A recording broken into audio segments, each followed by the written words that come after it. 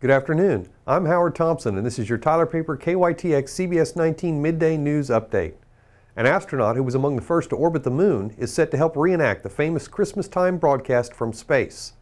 Millions tuned in Christmas Eve 1968 when Commander Frank Borman, Bill Anders, and James Lovell took turns reading from the book of Genesis as Apollo 8 orbited the moon. Lovell is expected to attend today's event in Chicago, where the original Apollo 8 command module is located. Twice a week, a Palestinian college student climbs to the roof of the Church of the Nativity. He pulls the ropes of four bells, a total of 33 times, to symbolize the number of years Jesus lived on this earth.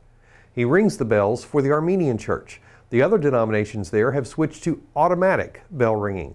But he says there's something special about the traditional approach. A senior Armenian priest asked, What if one day the computer doesn't work or needs to be reset? Would we skip the call to prayer? Elves have been around longer than the recent elf on the shelf photos. In Iceland, stories abound of the hidden folk, thousands of elves making their homes in the wilderness. Elf advocates there have joined forces with environmentalists to urge the Road Commission to abandon a highway project. They fear disturbing elf habitat and claim the area is particularly important because it contains an elf church. That's all for now. Check back for more updates.